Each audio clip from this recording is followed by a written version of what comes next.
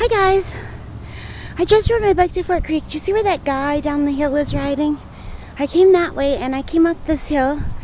This is the first time in my whole life that I made it up the hill without having to get off my bike. So I rode over to that rock and I got off the bike so I could take a picture and a short video. I did have to take my Ventolin when I got to the top though because uh, my asthma, that was really hard on my asthma. So but I did it. Now here comes this guy. Watch how easy he's going to do it. And I can't stand up on my bike because it's a crank forward bike, so I can't get that extra momentum. So, but it's not easy. I mean, it doesn't look like much, but it's pretty steep. So, yeah. Alright, I'm going to catch my breath and keep going. I've got several more hills to go. I'm not going to make it up those big ones, though. This is Fort Creek. Uh, the trails go quite a ways down there on both sides. But I'm taking this side because it's the paved trail for bikes. And the other side's the uh, not paved trail for walking and dogs. So and I used to get lost in that side all the time when I was younger. I mean, I think my cousin and I were on that side for about 10 hours one time. So yeah. And the only way we could find our way back to the road was to go right down by the creek and just kind of follow the creek back. And this wasn't really here before. It wasn't as built up as it is now. So yeah. Alright. And my house is about a, a few kilometers from here. I've already taken my bike from my house to here. And from this point all the way around, it should be about a 25 kilometer ride if I do the whole thing. But I don't know if I'll do the whole thing because I don't have a map.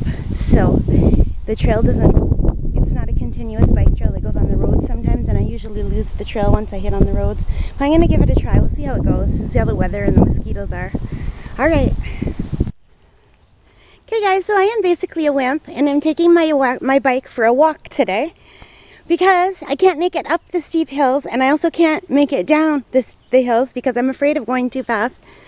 Because the only time I ever needed stitches was when I fell off my bike going down a hill. And uh, so I've been walking down this hill. we still have a little bit ways to go. And there was a steep hill sign partway down the hill. Not even at the beginning of the hill, so I don't know if there's going to be another steep hill at the end. Around the corner or what, but it sure is pretty.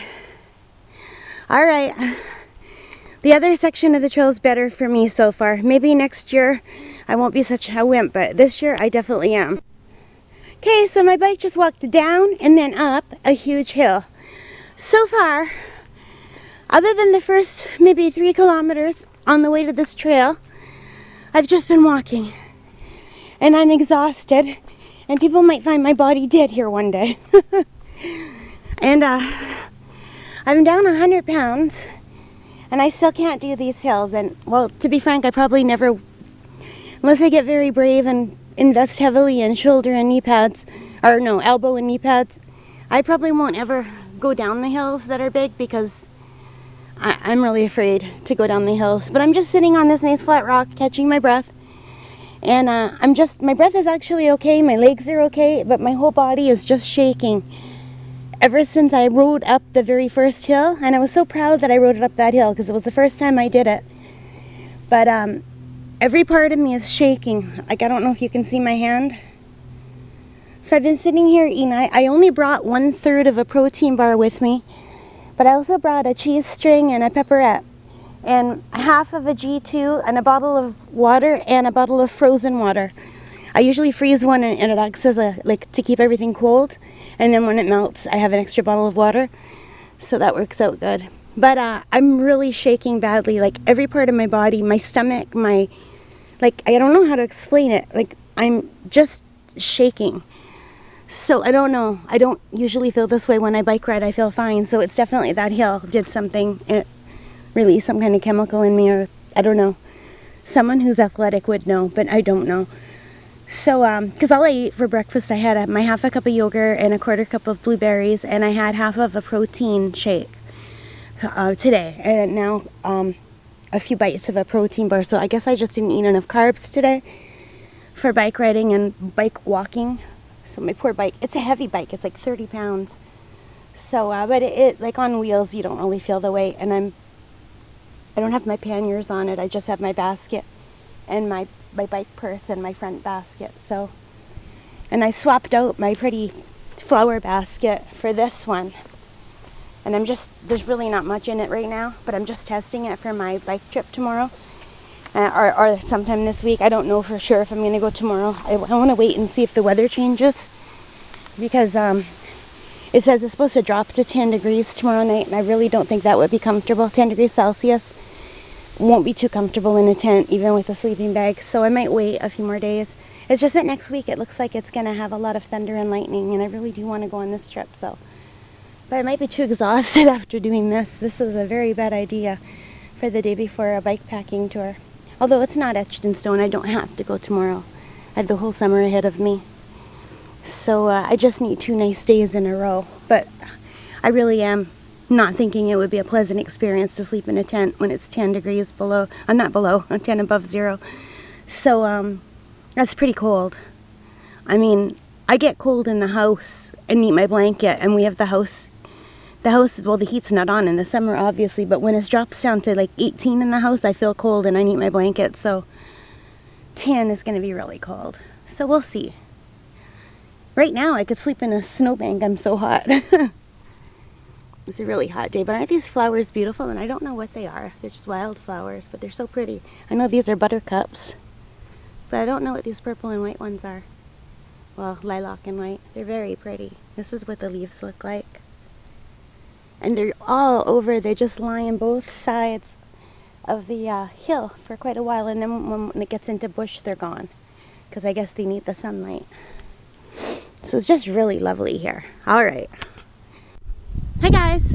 So this I'm going to call the Bridge of Trails or the Trail of Brit no Bridge of Trails. I think this is the fourth or fifth bridge I'm crossing. And uh, if you're not like good with heights this isn't the trail for you and I'm not good with heights, but I'm okay on a bridge. I'm just not okay going up and down heights. like angles, inclines, not good. I'm okay on flat. Like a bridge over a high place, I'm fine with. Especially this kind of a bridge, but uh, I still, it's really beautiful. I just wanted to show you.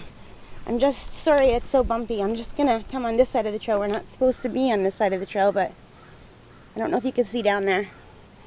This is the way I've come and this is the way I'm going. So it's just really lovely. And this um, bridge is higher than my head and I'm five foot four so it's maybe half an inch taller than me so the bridge must be about five foot five. I just want to show you that. Now, now I'm on yet another bridge and I think it's going over the same little creek that we passed over last time. So it's the same type of bridge. It's really hot out. Alright guys, let's keep going. Okay, I made it out of the wooded section of the trail and I'm onto the street section of the trail. But there's still a dedicated bike path here, so I'll keep going. Okay, here's where I came from. Back this way.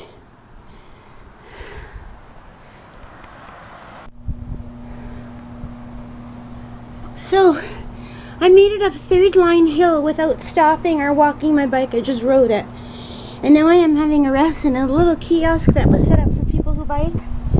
It's got a roof for rain and I see right across the street, that's our highway, our main highway. Um, well, part of the main highway. The main highway kind of loops around. This is the section that heads out to Wawa and Thunder Bay. But I see a Tim Hortons and a Max. And I only have one more sip of my G2, but I do have thinking I would like another G2 because this was not even a half a bottle. I should have taken a whole bottle. So I think I'm going to run into that Max Mart and see if they have any cold G2. And I don't know if they will or not because usually they just have the regular Gatorade and not the G2. But they might. I can. It won't hurt to check. I think I'm going to do that. So there's my bike. I'm just sitting here resting. Oh, that hill I, I can't believe I didn't stop. I made it. I'm really thinking this trail would be nicer going the other way. I think the way I'm going, I'm going up all the hills. People coming the other way would be going down all the hills. Well, there were a few hills I had to walk down too. But all the rest was uphill. So maybe next time I'll loop around the other way. So, We'll see. Alright. So I stopped at the Mike Smart and they had more G2, thank God. And then a big bottle too. I also picked up some pork rinds. They don't taste great, but they're low carb and very high protein. Only one carb for nine pieces and seven grams of protein.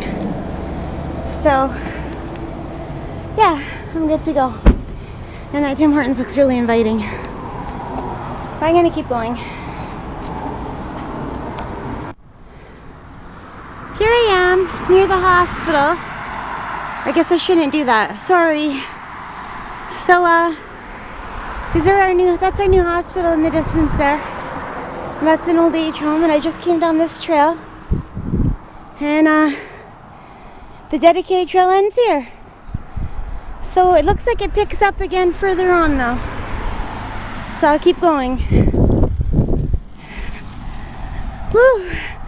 So glad that store had G2. I'm never going on a bike ride with only a little bit of G2 again because I definitely feel better when I'm drinking G2 instead of water. Alright, I'll talk to you later. Hi guys, now I'm at the bike shop where I bought my bike. This is where it all started at Velorush and Sault Ste. Marie. They're closed today. But I'm sitting in the shade over here catching a breath from all the freaking hills. I uh, do not like this section of the hub trail, I gotta say. And actually I got lost for a minute and I left the hub trail, but I got back on it. And I stopped here because they have some maps for free. And uh, so I took a map, so hopefully I can figure out where I'm going. But um, here's some pictures on the back. We crossed that bridge earlier today. So, yeah. Just gonna catch my breath and then keep going. It's a really hot day and it's a very different ride when there's 7 million hills as opposed to when it's nice and flat. And with my asthma, even though it's in better condition than it ever has been, since I was a kid, it's still too much doing hills on a bike for me. Um, it's not enjoyable at all. I did make it up the last three or four hills that I biked. I made it up the first hill. So it was just the middle section that I couldn't, the hills were too steep for me.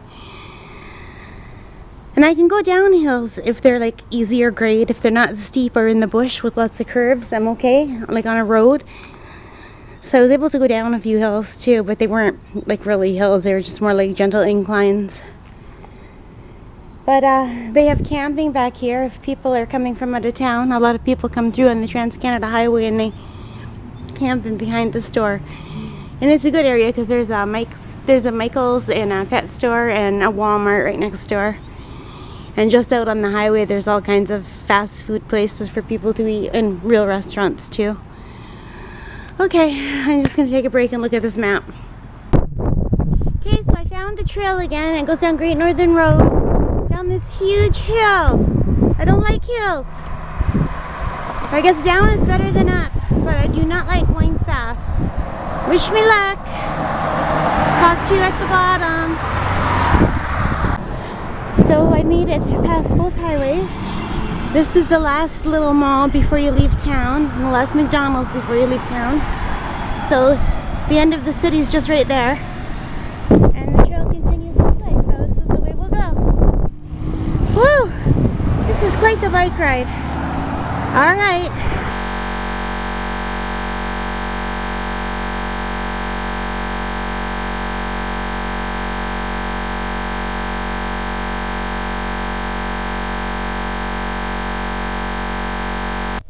Okay, it looks like we're going back on a regular trail instead of on the roads. We just came out of this neighborhood here.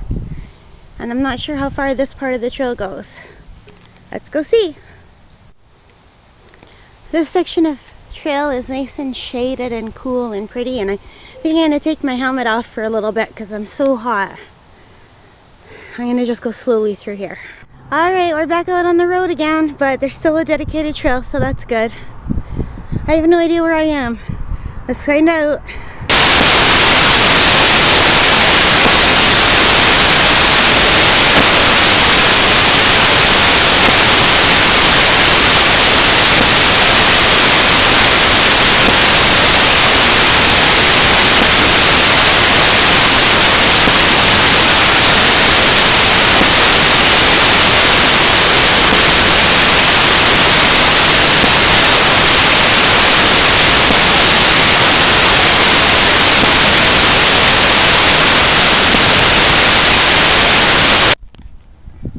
Hey guys, I just stopped for lunch. I already took my uh, my pepperette and my cheese string out of the baggie and I've got it sitting on some one ice bottle and one other bottle so it's nice and cold.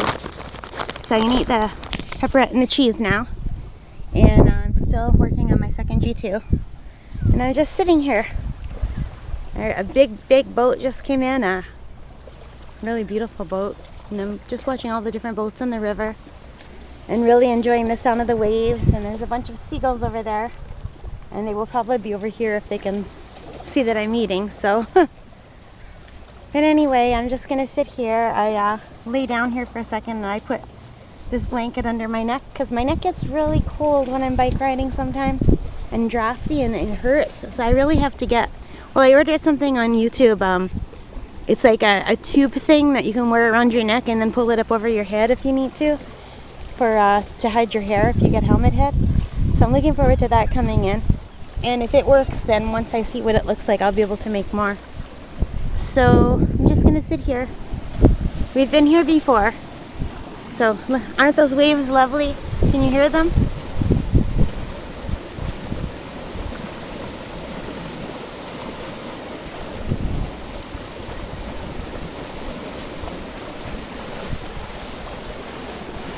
they're almost gone they're just from one, that big boat that went by. There they go. I just love that sound. So I've just got my bike parked by the bench. This is a dog walking spot, so sometimes I put my blanket down and sometimes I just sit on the bench. It depends today. I think I'll just sit on the bench. I want something to lean against. So I'm going to have my lunch now. I'll talk to you later. Such a gorgeous day and there are my goose friends on the river going for a swim. Here are a few of the slower ones. Very bright sunshine today. Can you hear them? And there's fish jumping. I don't know. One just jumped. I don't know if my camera caught it or not. They're just little minnows. Whoa! It's hard to walk here. I don't want to fall in. It's all potholy. No, I guess not potholes, just uneven ground. There's some pretty flowers down here, some daisies and some, I don't know what those other white ones are.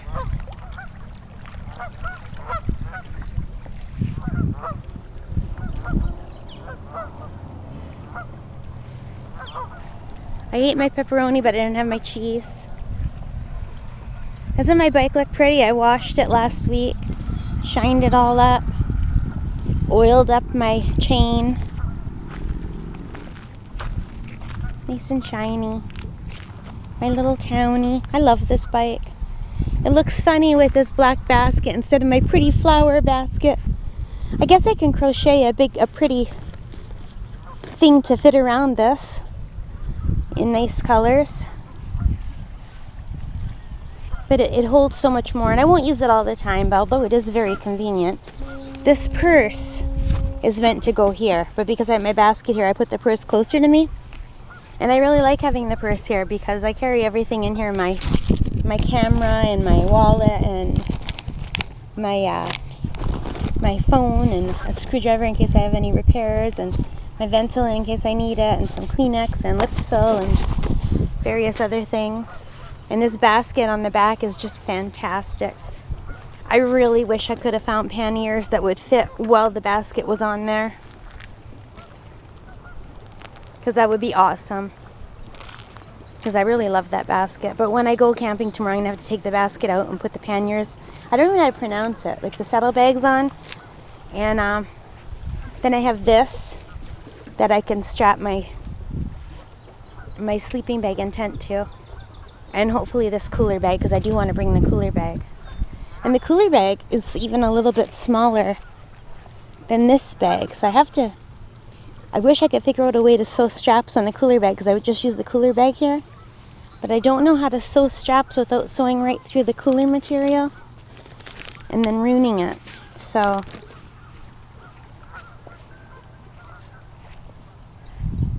Anyway, I've just been lying on this bench reading, using my blankie as a neck pillow, and enjoying all the dogs that are going by. I've already done 20 kilometers so far, and they were 20 hard kilometers. At least 15 of them were hard, but only about five of them were flat. So it really makes a difference what kind of kilometers you do. I am a bit sore today. So I guess I should start heading back soon, but I think I'm going to read for a little bit more. The sun's still pretty high. I've got lots of time before I need to get home. It is, let's see, it is 8 o'clock. Yeah, 8 o'clock. It doesn't get dark till 9.30, so I'm good. I'll be home before dark. And if not, I have lights and, and flashers on my bike. I have these two. This is a red flasher and this is a white one. And then I have two in the front. And I also have a headband that's really, really bright that I can wear around my head. Um, like a, a light headband. I'm not sure what they're called. You know what I mean. It's like a flashlight that you strap around your head. Alright, talk to you later. Guys, well, the sun is setting and it is 8.30 I believe and the sun's already going down so I guess the sun's just getting going down earlier than usual and it's only July. Like in June the sun was staying up so much longer. Well I just ate a mouthful of bugs so I have to add that to my protein. Those tiny little midge kind of things that are all over the trail they're just in that portion of the trail. And I forgot to turn my map my ride back on. And I went from that bench all the way around the tip of the island to here before I remembered to turn my map my ride back on, but that's okay. It's just about another, not very far. All right, let's go home. Look at the cute dog. At this beautiful sunset. This is so pretty. Such a beautiful night, eh? I know, and I have to go back to the West End. I'm never going to make it before dark. No. and I stop every three seconds to take pictures and videos, which doesn't help. That's alright. So I almost had a bad accident. As I was riding, this branch got stuck in my sandal and won't come out. And it was going in my wheels. Like this was a much longer branch. Look at this. Now I'm behind the old hospitals. Hi. And the sun is setting. The lights are all coming on on the pathway. The, this part of the path, the path is lit up, which is really nice. And uh, yeah, so I've gone past the new hospitals and the old hospitals today. and I feel okay now. It was just that first part and through uh, Fort Creek that was hard. And that one hill after Fort Creek that was hard, but I made it up. Well, there were a lot of hills that I made up actually. I'm pretty impressed.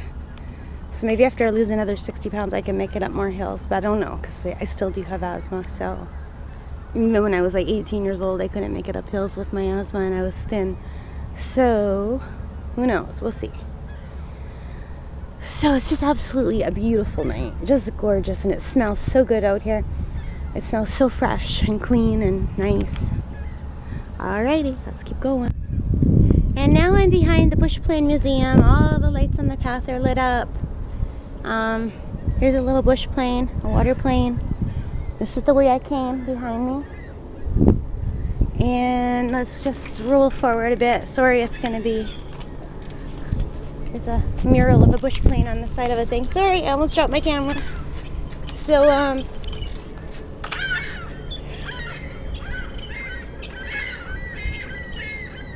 the birds that hang out here are just awesome. And they have a fake owl up on the corner of the roof, and there's a seagull right next to it. They're not afraid at all. So the, there's seagulls and some other kind of seabird. I'm not sure what it is. Maybe a tern. These little ones. Can you see the little ones flying with the seagull? But they make such a cool sound. But there's a million little tiny bugs, and I think that's what they're hunting for. They're swooping down for and I have to keep my mouth closed because they keep going in my mouth if I open my mouth at all. It's gross. And they go in my ears, but thankfully I'm wearing glasses so not my eyes. Alright, let's keep going. And I've got my light on, my bike, and I've got to turn this one on too. I can't figure out how to turn it on. I think I can't remember how to turn the light on this one. I thought it, yeah, okay, it's just in the middle. And I can turn it on flashers. And I'm not on the road yet, but I should still probably put my reflectors on too. So let's get off the bike and do that. Let's move the bike off the path a little bit. So I've got this one and I can do it steady beam or flashing and that should be good and this is just another white one that I took off the front because well let me go in the front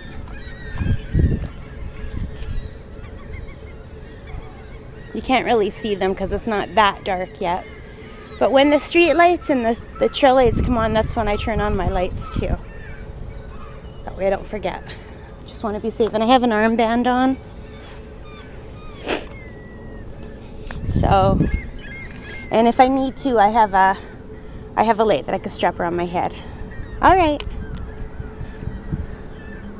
Let's say goodnight to the Bush Plane Museum and all the birds on the roof. So now I'm, I'm by the library on my regular section of trail that goes by the waterfront. We're never usually here at night. And it's kind of a mess right now because as of uh, yesterday there was a fairground here. With some rides for the kids and well, I think this section was the band and the food and but this whole area was just all set up. And all the way down that way was all set up. So they're just, I guess they haven't come for the garbage yet. And there was a giant duck, like, I don't know how tall the duck was. I took a picture. But um, yeah, so it's kind of cool. If it's really dark back here now. But my camera's making everything brighter, but you can see all the lights are on. And we came down this way. So now pretty soon we'll be by the river again, which is nice because I like riding by the river. All right, here we are back by the river, the St. The art gallery is behind me. And uh, there's the city hall straight ahead. It's kind of dark now. And there's the International Bridge in the distance. We're just gonna follow this trail, keep going. Okay guys, now I'm behind the mall. There's the Galaxy Cinema. There's Sears. It's pretty dark. There's the International Bridge. There's this thing that you can sit in. So, um, yeah. Gonna keep going. And my lights are on and they're much brighter now that it's darker especially this one this looks like Star Wars things or Space Invaders from the old 80s games okay guys so I'm coming to the end of the part of the trail that goes by the waterfront and um, I'll have to go on the road for about two blocks and then I'll be back on the normal trail that leads back to my house and I don't know whether I'll take any more videos after this because it's just going to be through neighborhoods. If I see anything interesting, I will. But if not, this will be it. And thank you for coming on my uh, bike ride with me. So yeah, there's Soo, Michigan. There's the American side of the bridge. The Canadian side's not lit up tonight. There's the rapids that generates all the power. And uh, my bike is right here. Can you see it at all? Here's my hand right in front of the camera. Can you see it? How about if I hold it up? Okay, if I hold it way up here, you can see it, but not here. So it's pretty darn dark. Here's the road I came on. You can see them all in the background. So I'm only a few kilometers from home. Um, I don't know how many. Three, four, five, maybe. I'm not sure. So I'll talk to you later. Now I'm at the underpass that leads to the west end. If I were driving, I would go through there. But I don't want to go through there on my bike. This is the way I've come. And we're gonna finish going up the Hub Trail to almost where we started on it. And then turn left about where that car was crossing up ahead. And uh, here's the road behind me. And I'm doing all right actually. So, yeah. Hi guys, so there's my house across the street. Um, Someone just shut off the light in the in the dining room as I took this That's my mother. I see her in there. And uh, yeah, so you can see how dark it is. And I just have to go across the street and put my bike in the garage.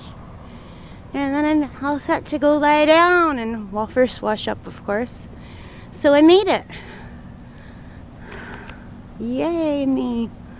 Okay, talk to you later. Thank you for coming with me on this big, huge, long bike ride. That took me way longer than I thought it would.